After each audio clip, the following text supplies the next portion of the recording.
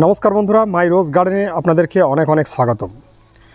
বন্ধুরা, গোলাপ গাছের জন্য আজকে একটি ইনফরমেশন দেব এবং ছোট্ট একটি টিপস দেব।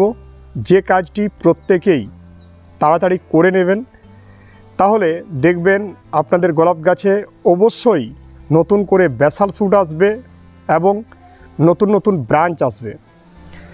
ইনফরমেশন যেটা দেব সেটা হচ্ছে, আমরা জানি গোলাপ গাছ সিজটাকে দারুণভাবে এনজয় করে। তার সাথে সাথে আমরা এটাও দেখেছি যে গোলাপ গাছের সবচেয়ে বেশি গ্রোথ কিন্তু হয় এই মার্চ মাসে। কারণ এখন এই বসন্ত ঋতুতে দেখবেন ঠান্ডা খুব বেশি থাকে না এবং এখন কিন্তু গরমও খুব বেশি নেই। তার জন্য এখন সবথেকে গোলাপ গাছের কিন্তু বেশি গ্রোথ হয়। আর এই যে গ্রোথ হচ্ছে, এই গ্রোথ পিরিয়ডটাতে আমাদেরকে এমন কিছু কাজ করতে হবে যাতে করে গ্রোথটাকে আমরা আরও বেশি ফাস্ট করতে পারি। দেখুন, প্রথম একটা কথা বলব, হয়তো অনেকেই জানেন, আবার অনেকেই জানেন না। সেটা হচ্ছে, গোলাপ গাছে ব্যাসাল শ্যুট আনার জন্য স্পেশাল কোনো টিপস কেউ দিতে পারবে না। কিন্তু এটা ঠিক যে গোলাপ গাছে একটু পরিচর্যা ঠিকঠাকভাবে করলে বা গোলাপ গাছকে ঠিকঠাক প্রসেস নিয়ে যদি আমরা পরিচর্যাটা করতে পারি, সেক্ষেত্রে কিন্তু গোলাপ গাছে ব্যাসাল শ্যুট হবে। আমার গাছে ব্যাসাল শ্যুট হতে দেরি হচ্ছে, এই ভাবনাটা যাদের মধ্যে আছে তাদেরকে বলব যে গোলাপ গাছে কোনো ব্যাপারটাই খুব স্পিডে হয় এমনটা নয়। প্রত্যেকটি গাছেই এখন নতুন নতুন করে দেখুন ব্রাঞ্চ আসছে। আমাকে কিন্তু ওয়েট করতে হয়েছে। অনেকেই বলছেন, আপনি জমির গাছকে তো দেখান। তাদেরকে বলব, দেখুন, আমি ছোট ছোট টবের গাছের দিকে যাচ্ছি। কোনো রকম গ্রোথের মানে কম কিছু নেই। প্রত্যেকটি গাছেই দেখুন, নতুন নতুন করে গ্রোথ হচ্ছে। এই যে টবের গাছ, এই টবের গাছেও দেখুন, সুন্দরভাবে কিন্তু গ্রোথ নিতে শুরু করেছে। প্রত্যেকটি গাছে পাঁচটি, ছটি, সাতটি করে এখন আমাদের ব্রাঞ্চ হচ্ছে। তো এই যে ব্রাঞ্চ হচ্ছে, এটা কিন্তু আমরা আগে চাইলে কিন্তু পেতাম না। নির্দিষ্ট সময় হয়েছে, এবারে আমাদের গাছে ব্রাঞ্চ কিন্তু হবে। তাড়াহুড়ো করার কিছু নেই। প্রত্যেকটি গাছেই, এখানে একটি গাছ আবরাকা ডাবরা কি পরিমাণ দেখুন, গাছের গ্রোথ নিতে শুরু করেছে। এই গাছটি শীতের সময় ততটা ভালো গ্রোথ কিন্তু নেয়নি। কিন্তু এখন এই গাছের গ্রোথ শুরু হয়ে গেছে।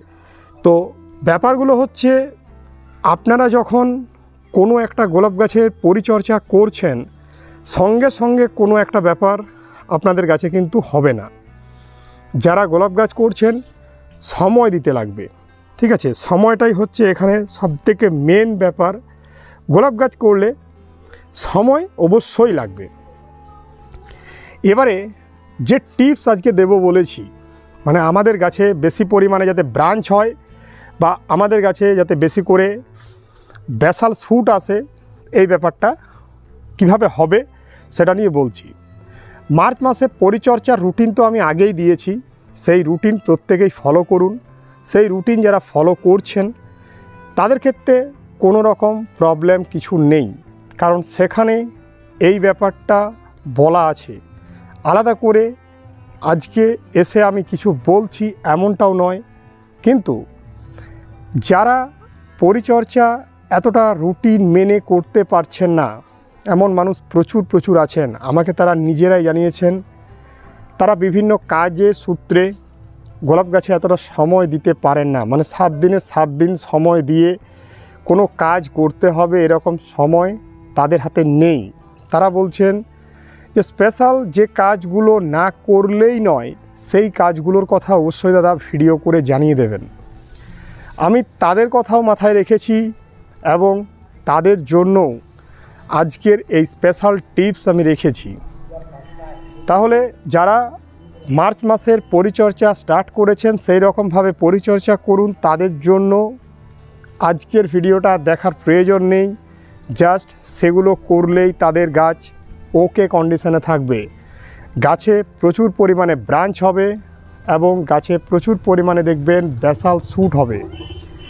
এবারে স্পেশাল যে টিপস সেই স্পেশাল টিপসটি হচ্ছে সপ্তাহে যে কোনো একটি দিন আপনাকে দিতে হবে পিজিআর বন্ধুরা পিজিআর তো আমরা গোলাপ গাছে বেশিরভাগ সময় যারা ইউজ করি তাদের জন্য কিন্তু কোনো স্পেশাল এটা নয়।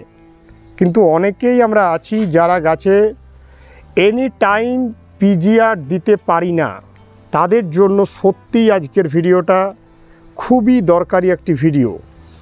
কারণ স্পেশাল এই কারণে পিজিআর দিলে পরেই হবে না। পিজিআর দেওয়ার একটা নির্দিষ্ট সময় আছে, নির্দিষ্ট প্রসেস আছে, সেই রকমভাবে দিতে হবে। কোন পিজিআরটা দেবেন, সেক্ষেত্রে আমি বলব আপনার হাতের কাছে যে পিজিআর থাকুক, সেটা দিলেই কাজ হবে। আমি নিজে ব্যবহার করি মিরাকুলান। আমার বাঁকুড়া ডিস্ট্রিক্টে মিরাকুলানটাই সবথেকে বেশি চলে মার্কেটে। তাই আমি মার্কেট থেকে মিরাকুলান পিজিআরটি সংগ্রহ করেছি। এটার দাম পঞ্চাশ এমএলের পাওয়া যায়, একশো এম এমএলের পাওয়া যায়, পঞ্চাশ এম এমএলের মোটামুটি পঞ্চাশ টাকা, একশো এমএল আশি টাকার মধ্যেই পাওয়া যায়। দামটাও মোটামুটি আমাদের সাধ্যের মধ্যে। অর্থাৎ সব সময় আমি যেটা বলব, সেটার দামটাও কিন্তু আমি বলার চেষ্টা করি যাতে করে আপনাদের কোনো সমস্যা না হয়। তাই বলছি মিরাকুলান পিজিআরটা আপনারা ট্রাই করতে পারেন। নিঃসন্দেহে এটা কিন্তু ভালো পিজিআর এবারে যদি আপনার কাছে কিছু আছে, আপনি সেটা ইউজ করবেন। এক্সট্রা করে কিন্তু মিরাকুলান কেনার প্রয়োজন নেই। পিজিআর দিতে হবে আপনাকে কখন? সেই ব্যাপারটা নিয়ে আমি একটু ছোট্ট করে ধারণা দিই। যারা মাই রোজ গার্ডেন দেখছেন দীর্ঘদিন ধরে, তাদেরকে এটা নতুন করে কিছু বলার নেই। কারণ জানেন যে পিজিআর দিতে হয় সবসময় সকালের দিকে। হালকা মিষ্টি রোদ থাকবে, এই রকম সময় আপনাকে কিন্তু দিতে হবে পিজিআর। ঠিক আছে?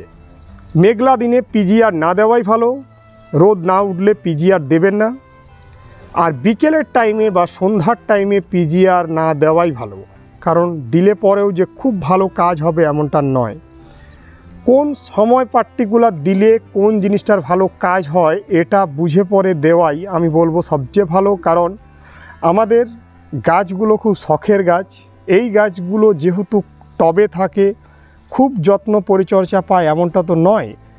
তাই যতটা আমরা সঠিকভাবে কাজটা করতে পারব, ততটা আমাদের গাছের জন্যই ভালো। তার জন্য আমি বলছি, পিজিআরটা আপনারা সকালে দেবেন।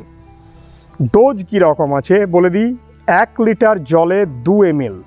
ঠিক আছে? এক লিটার জলে দু এমএল পিজিআর নিয়ে ভালোভাবে ঝাঁকিয়ে সকালের টাইমে স্প্রে করুন।